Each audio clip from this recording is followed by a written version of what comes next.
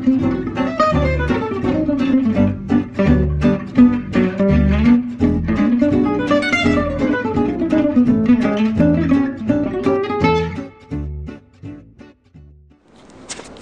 yo, all right, we back. So, let's watch Gonzalo do his thing and see how amazing it looks. Go!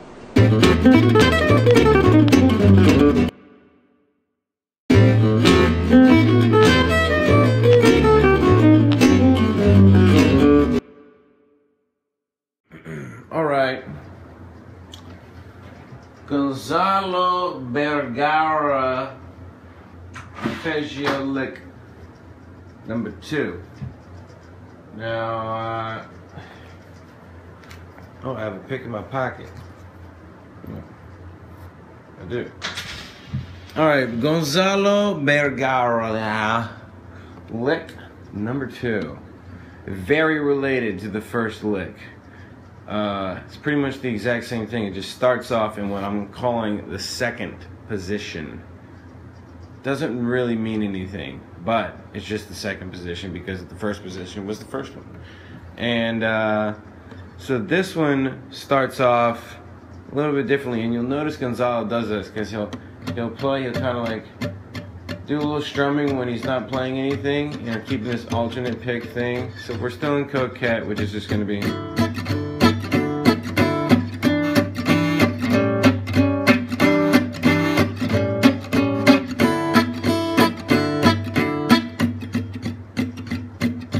He'll be doing that. And so when he'll start off a lick, he'll go.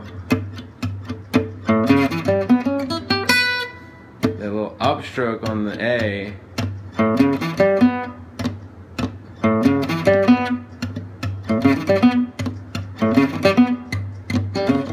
You know, it's it's uh, I think it's a way for him to maintain a swing while playing. So this upstroke, and you'll see him do this a lot with many of these kind of like just just whatever. That was that was total bullshit, by the way. Don't even pay attention to that.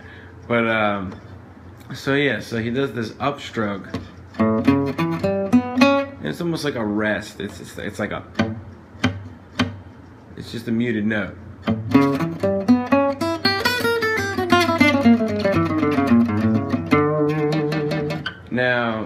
The one that I'm gonna go over in the video is actually him playing with Joscho, doing the Djangology song Joscho, and highly controversial video because it looks like Gonzalo's having a really bad time, and all these people comment on it. It's pretty funny.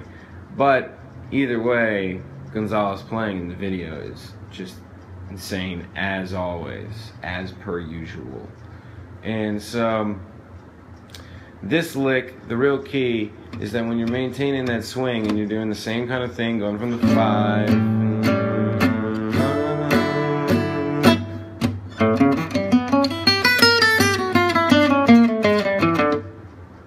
These lines right there. Three, four.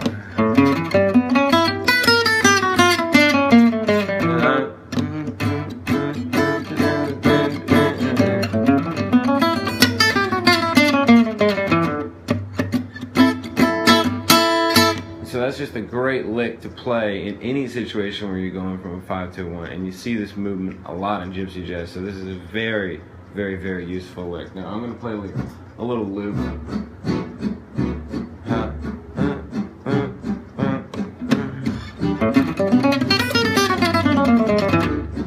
That's right there.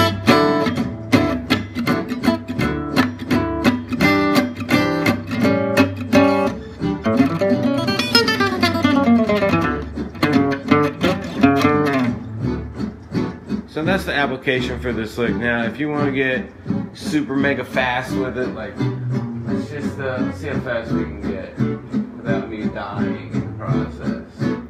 So that, that'll be a normal tempo.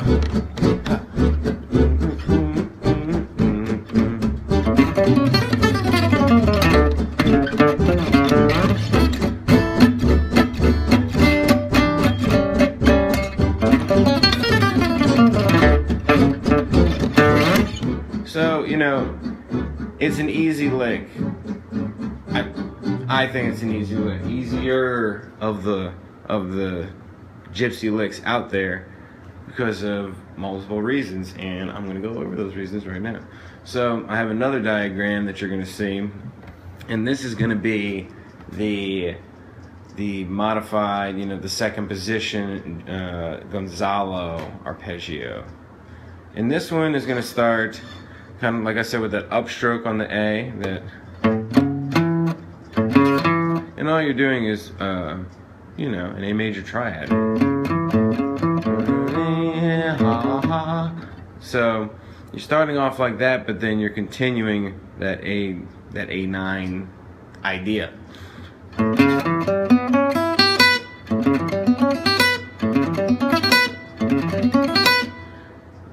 It's, really easy because basically when you're ascending, you're doing this up, down, up. Then you're just doing two sequential downstrokes, down, down, then up, down, down, up. And if you wanted to, if you wanted to play that A on the low E, you could, and it would just be this repeating pattern. Down, down, up, down, down, up, down, down, up. So that ascending part is super easy because it just works with the gypsy mechanics so well. And so once you're done playing that, there's those four notes on the high E. Makes sense, right? You want to start alternate picking once you start descending. Basically on the high E, you're going to want to do those four notes. One, two, three, four. Then you're going to do another four notes. One, two, three, four. One, two, one, two, three, four. One, two. So when you're descending, as long as you keep it all even, you can maintain alternate picking all the way through. So.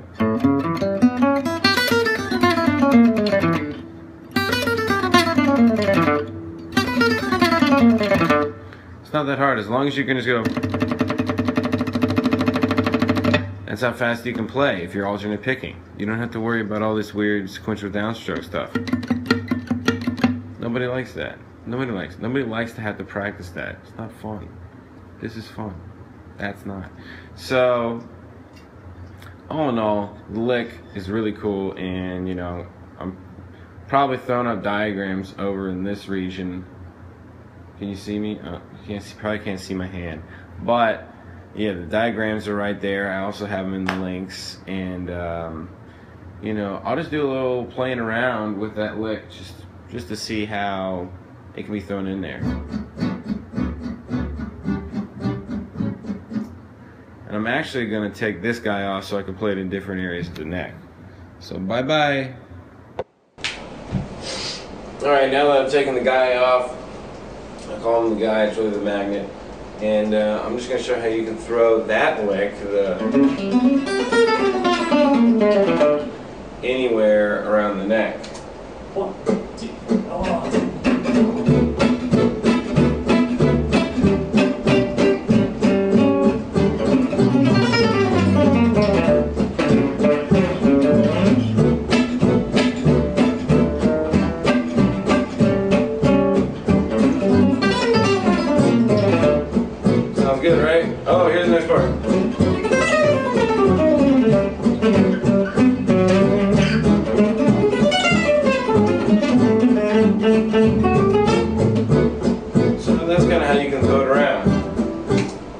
And pretty much, uh, I think a good way to look at it is, you know, if you know the chords of the song, like in that next part, it goes from the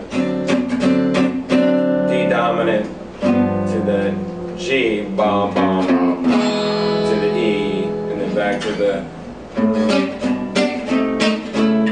So if you know you're going from the D dominant to the G,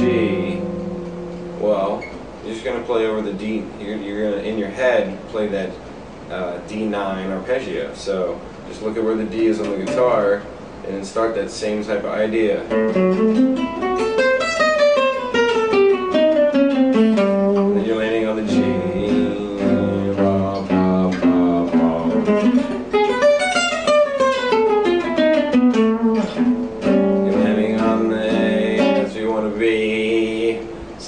Cool about this lick is that you throw it in there, you're gonna land right where you want to.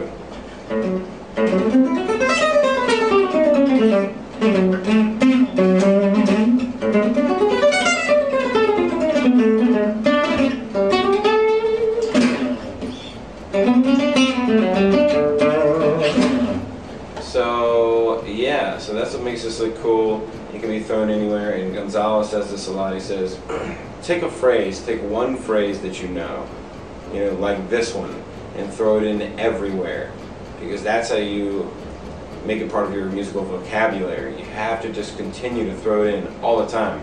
I put on backing tracks all the time, and then just throw in licks, throw in licks, try and throw them and you can throw them in different kind of times. Don't you know? Don't you don't have to play them in the same way that I'm playing it, where it's like. It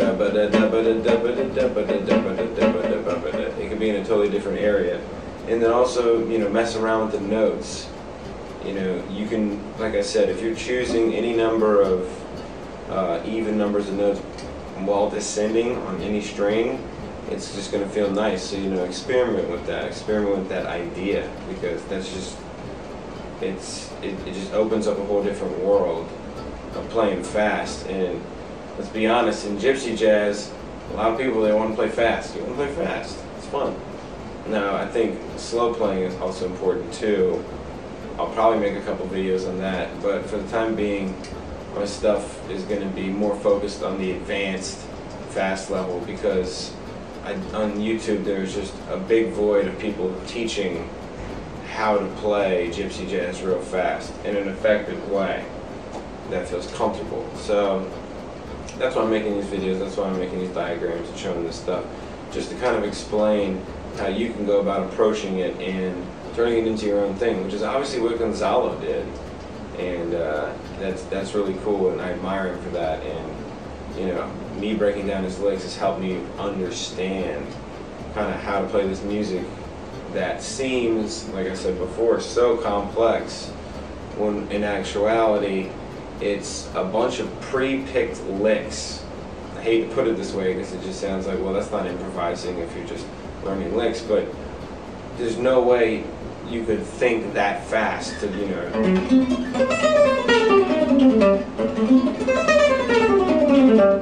Without already knowing a shape or, you know, hey, this is when I'm descending, I'm gonna do alternate picking, blah blah blah. You know, you're not gonna be able to just make these things up on the fly. They almost have to be premeditated. So that's why it's good to build your own vocabulary of licks and things, and then that's how you eventually learn to tie them together into a coherent solo or coherent piece of music. So that's what's freaking awesome about this lick and go ahead and use it. You know, there's a bunch of backing tracks online for Coquette and Djangology. Uh, Djangology is extremely hard. I'm still going over that one, so I'll probably have some cool arpeggio ideas on that soon. But play around with this lick. Uh, if you like it, tell me what you think. Obviously, please subscribe to my channel. I'm trying to get a bunch of followers because hopefully, you know, I'm feeling this Gypsy uh, Gonzalo explanation void that I don't seem to see on the internet. So uh, if you dig it, subscribe, and I appreciate you guys. Try to do the fucking damn thing. Alright guys, have a good day. One, two, one, two.